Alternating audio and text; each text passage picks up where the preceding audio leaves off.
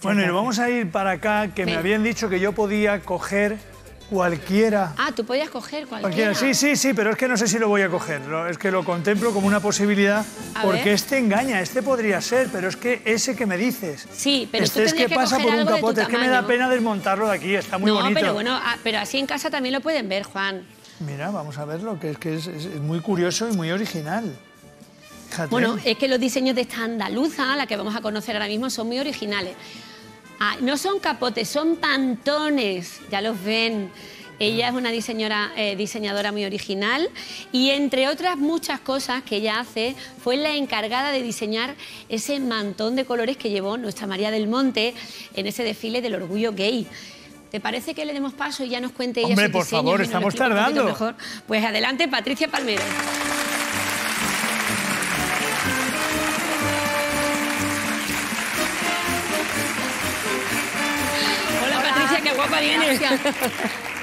Bienvenida. Yo todavía estoy, como no lo he cogido, voy guardando la distancia. Claro. ¿Qué tal? Bienvenida. Muchas gracias. Oye, qué cosas más monas vemos aquí, ¿eh? Sí, Muchas sí, la gracias, verdad que me todo... alegro que te guste. Y distinto.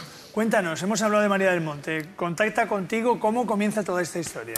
Pues mira, a mí su, su equipo eh, me ve a través de TikTok y, y A través de, vamos a decirlo a la gente, a través de internet, de, De las redes sociales, de- Sí. del TikTok famoso. me ve tu trabajo y qué hace. y se pone en contacto conmigo Martín Rojas, que creo que tú lo conoces. Claro, el Y- número uno, claro que sí. Y, y él me comenta el tema de... Que hay un de- interés por parte de la jefa. Sí, sí.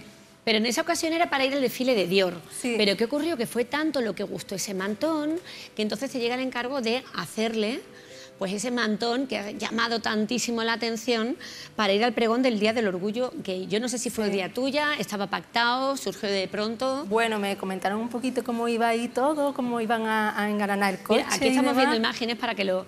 Seguro que los espectadores lo recuerdan, pero si no está muy bien recordar que fue un mantón con los colores y con lunares. Sí, muy, muy sí. original. Y por supuesto tenía que tener los flecos, que, que es mi sello. Claro. Los flecos son tu sello, Sí. Patricia. Sí. Bueno, eso está bien. ¿Has traído algunos de tus instrumentos? Porque queremos ver cómo hacen los flecos. Los flecos son muy importantes a la hora de hacer un mantón. Sí. Y cambia muchísimo en la categoría, en el precio. Sí, dependiendo en, del en la enrejado. manejabilidad, exacto, también. Sí. Háblanos un poquito. O ve- Sí, si vamos quieres, a ir viendo, ¿no? Te Cómo- puedes poner a hacer algunos si te parece. Sí, os enseño un poquito. Venga. Mira, Madre mía. ¿Y el vestido ese también te lo has hecho tú? también. Claro, perfecto, muy bien. Es como una bata, ¿no? Muy ponible. No le estoy una batita de esas a Juan, hija, de verdad. Sí, me Patricia. puede Mira haber el, el mantón de, de Mira, capoto, míralo, el negro de hombre. El negro, mira, El Juan. negro pues de hombre. qué bueno, exactamente. A ver, ¿y ahora qué, qué- qué- coges hilo ahí? Pues mira, aquí vamos cogiendo los hilos, ¿Cuántos coges? cuatro. Ya verás cómo Cuatro, me pone cinco, el mantón seis. por pantalones. Claro mira. que sí. A ver, ¿cómo va eso? ¿Quieres o no? Sí. ¿Pero cómo me voy? Yo para Claro que, que vayamos sí. hablando con Patricia y se Ah, vea cómo bien. queda. Bueno, este y mantón te os voy explicando, ¿no? No sé si te lo he colocado bien. Ahí, hombre, es que el- Juan es muy grande, le queda un poquito estrecho O de aquí aquí. en el hombro también. Claro. También puede ir así, Juan. Claro, en el hombro.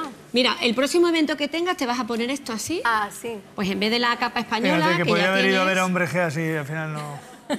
No, pero mira, Mira, a una noche vieja va esto estupendo así. Que no va- Sí, es verdad. Yo casi todas las noches viejas, como no lleve mantón, no soy nadie. Pero yo te, yo te lo vería en- Bueno, mejor es- así. es sin mantón y tampoco ¿Cómo sé- desfilarías tú con esto, Juan? Yo def- eh, tú, tú te aburres mucho en tu pueblo, ¿no? Venga, vamos a atender aquí, anda.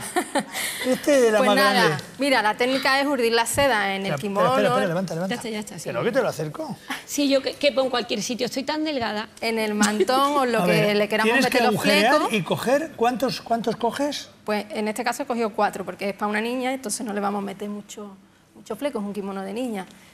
Y a base de nudos hacemos los, los enrejados. ¿Pero cuántos nudos has hecho? Ah, bueno, vale, ahora mismo vale, uno, vale, pero dependiendo de, que has hecho del la vuelta para enrejado, de- ajustar. claro, dependiendo del sí, enrejado. sí, es- yo lo hago de otra manera, pero bueno, también está bien así el- Y bueno, por ejemplo, ve aquí, cada uno.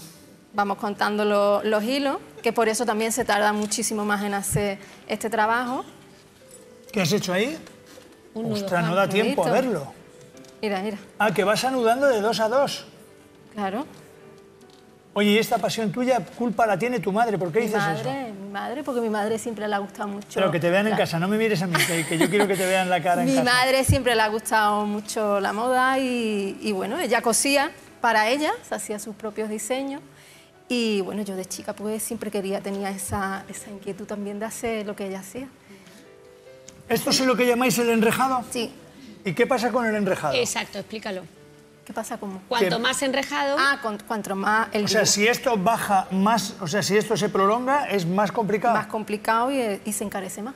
encarece muchísimo Muy más. bien claro. dicho eso, coloca lo del precio porque luego la gente no, No, lo no, valora. claro, es que no tiene nada que ver Muy un bien. mantón de Manila que nos puede parecer bien, pero que el enrejado es regular. Que encima no es de Manila. A que, a que sea bueno, es de Patricia. ¿Es de Patricia? No, no, pero que los mantones de Manila no eran de Manila.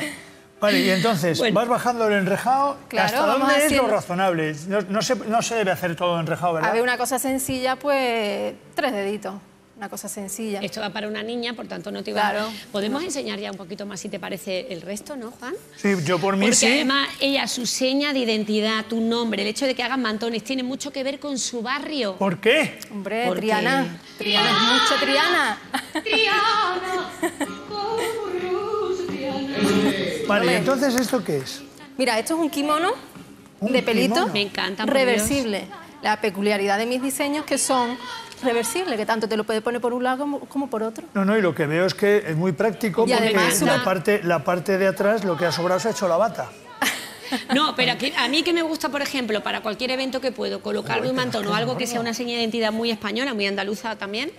Eh, pues claro, en invierno no se puede usar, pero No, no, esto pero es tú has una visto el opción grosor que fantástica, esto por tiene. eso te ¿Pero digo. tiene relleno esto o qué? No, no, para nada. Madre mía, Qué macho. bueno, es que Es que esto genial. abriga como, vamos, Y joder, qué después buena eh, idea. tenemos el kimono y después tenemos el mantón también de... Oye, por el curiosidad te mantón. voy a preguntar a ti. Yo no he visto esto nunca. ¿Esto de que tenga una prenda así, flecos, es exclusivo tuyo? Sí. Fíjate. Bueno, Es así Que es de... muy bonito decirlo, porque es, una, es Sí. un sello personal tuyo. Sí. Mira, Eva, se ponga lo que se ponga. Es- No, es- claro, pero me refiero que ya vas tú con tu mantón, pero es que ya vas calentita. Claro. ¿A que sí? ¿Verdad? Esa Vale, es la idea. Ahí está. Patricia, eso es para abrigar. Sí. ¿Y esto es para espectáculo o qué? Para lo que quiera. Para ¿Cómo sería? Te lo- hazme el favor, Patricia, Claro. póntelo porque lo veo ¿Te lo quieres poner complicado. tú? Sí, venga. Bueno, O, o Eva, que, que, que lo-